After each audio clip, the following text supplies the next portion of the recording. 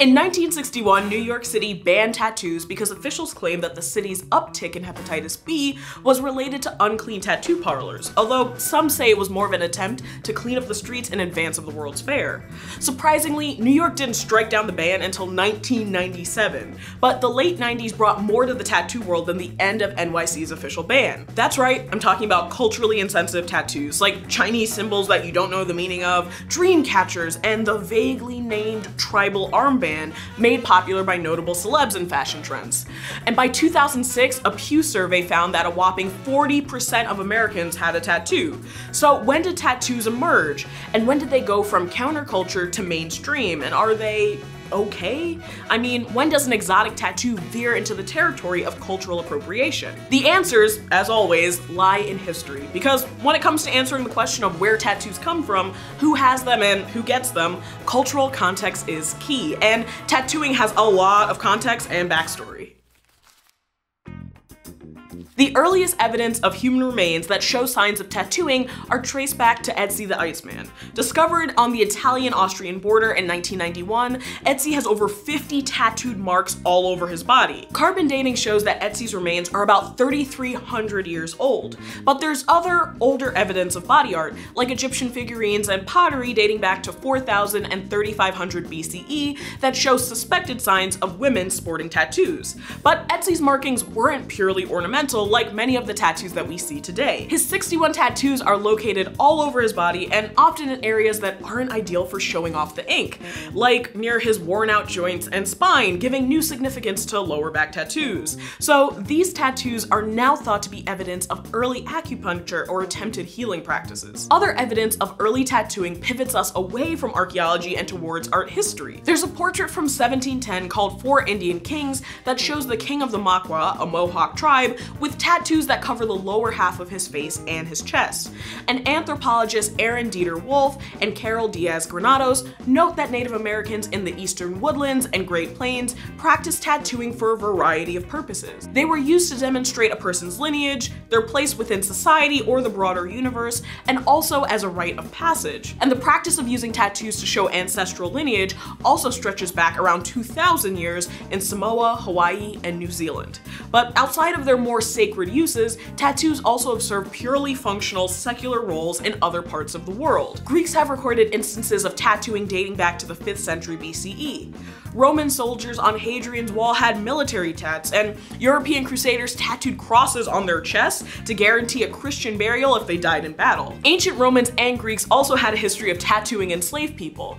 In Japan, as far back as the 7th century, criminals were also tattooed. And later, Yakuza gang members were known for their elaborate and often quite beautifully done ink that symbolized their life of crime and their gang affiliations. So tattoos can be the sign of cultural pride, the mark of an outlaw, a healing practice, and the mark of a traveling soldier. And most of these tattoos were done by either pricking, burning, or staining the skin with a manual tool. But if you're like me and have four tattoos of various shapes and sizes that were done with an electric tattoo machine, then you're probably curious about where and when contemporary tattooing came into play. Well, that brings our timeline forward to 1769. The word tattoo is an anglicized version of the word tatau, which is a Polynesian word of Tahitian origin.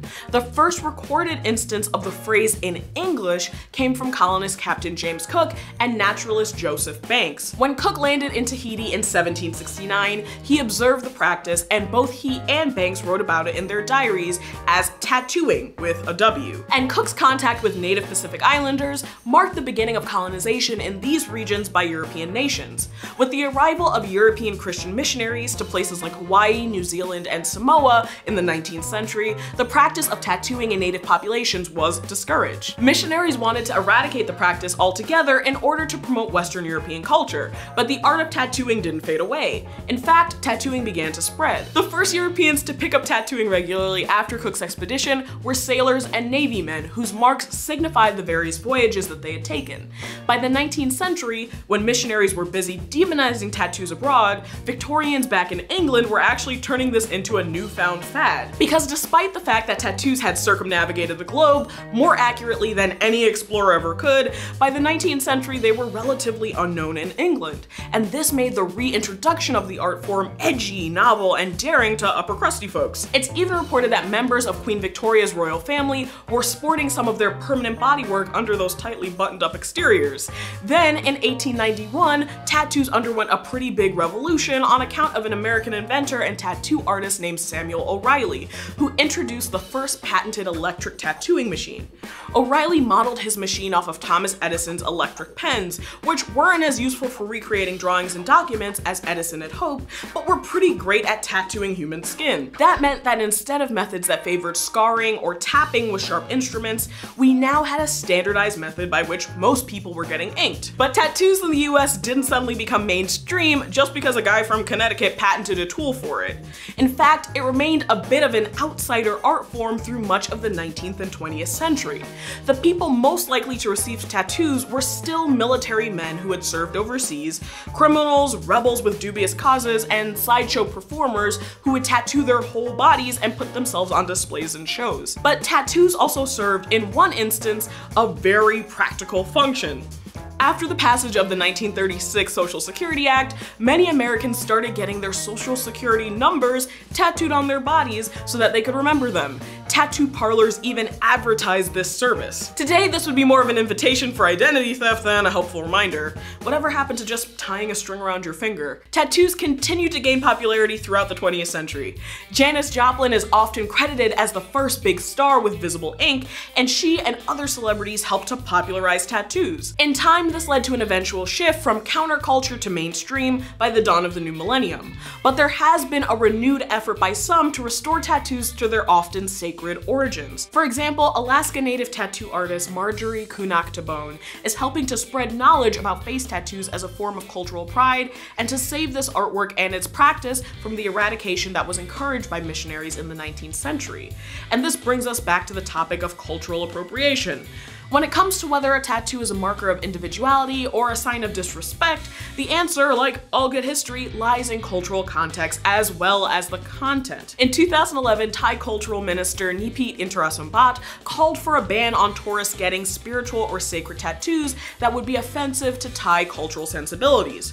One example is getting Buddhist symbols tattooed below the waistline, which can be considered disrespectful. Despite the popularity of Japanese-inspired tattoos abroad, some owners of public spas and pools in Japan still refuse access to people with tattoos because the markings are still heavily associated with Yakuza gang members. So when divorced from their original context and taken up as part of a tourist market that centers on capturing a piece of another culture, these tattoos actually have radically different meanings in different places. So it's something to think about for a long time before you put yourself under the needle. Because remember folks, when it comes to tattoos and crossword puzzles, ink is forever. So, what do you think? Anything to add to the history of the tattoo? Have any truly nerdy ink inspirations you want to share in honor of Origin Season 2? Drop them down below. Be sure to follow us on Facebook and subscribe on YouTube, and I'll see you guys here next week.